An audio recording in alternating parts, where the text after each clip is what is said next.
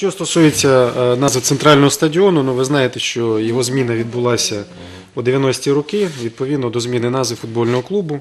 У нас стадіон називався Евіс, якщо пам'ятаєте, а потім, щоб вже не гратися в ці забавлянки, то залишилася назва центрального стадіону. В зв'язку з тим, що він є комунальною властістю міста Миколаєва, м'яч на стороні міського голови, це його право, він може назвати як завгодно, тим паче він є одним із тих, хто отримує футбольну команду суднобудівник. Будь ласка.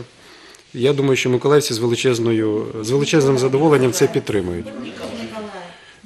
Е, Ми говоримо про муніципальний футбольний клуб, а є приватний футбольний клуб суднобудівник, який отримує в тому числі мер міста Миколаєва. Це перше. Що стосується е, усіх інших ініціатив, е, я думаю, що я не погоджуся з окремими колегами в тому, що недостатньо проводиться роз'яснювальної роботи. Хочу нагадати, що разом з обласним телебаченням протягом двох років, разом із нашими істориками протягом трьох років, разом із нашими патріотами, філологами, гуманітаріями наших вищих навчальних закладів, ми 25 років чимось займаємося і намагаємося достукатися до окремих чиновників. Сьогодні ми презентували 60 відеофільмів із серії Реабілітовані історії до 25-річчя загальнонаціональної програми Реабілітовані історії. Миколаївщина перша область в Україні, яка запропонувала відеоверсію своєї е, історії забутої, чорної, трагічної, жорсткої ХХ століття. Я думаю, що е, дякуючи тому, і обласне телебачення, і група авторів е, будуть впізнаваними і будуть підтримані колегами з інших областей. До речі, Миколаївщина одна з небагатьох областей, де з обласного бюджету виділяються кошти на фінансування програми і реабілітовані історії, і книга пам'яті України.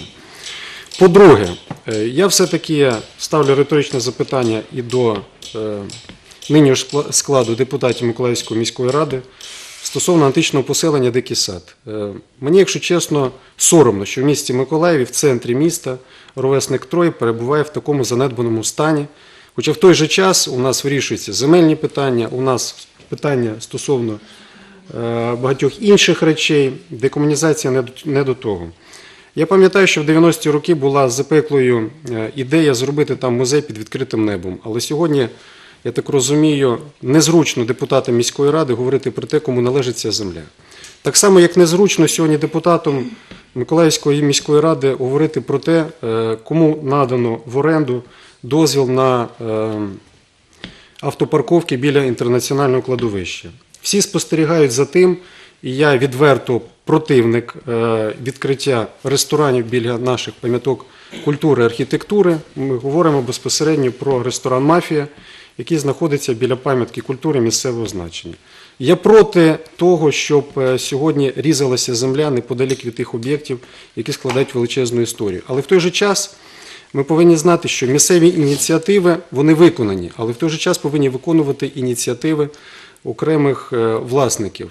Я хочу, щоб була або змінена концепція функціонування суднобудівного заводу 61 комунара, на якому ремонтується один корабель на рік, або повинно бути прийнято рішення стосовно ефективного використання його земель і е, відкриття індустріального парку.